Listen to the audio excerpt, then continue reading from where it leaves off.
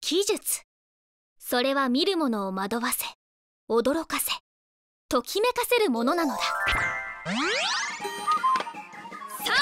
あ私の華麗な奇術をとくとご覧あれ。まずは縄抜け。何やってんすか。次はお札切断マジック。また失敗ですか。そんなんだから部員増えないんすよ。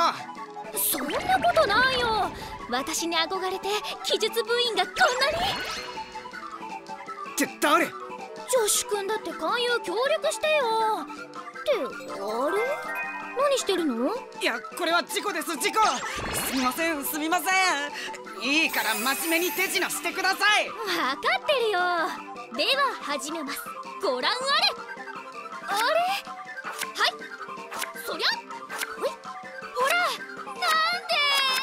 なんてそうなる。